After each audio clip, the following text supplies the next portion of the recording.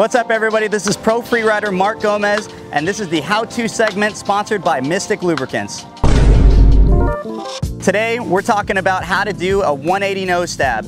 When you're going into a nose stab on your jet ski, you want to approach the correct wave. The correct wave you're looking for is one with a little bit of face on it. The steeper, almost the steeper the better. Not quite a backflip wave, but you'll come to find out that the steeper the wave, it's going to make it a lot easier for you.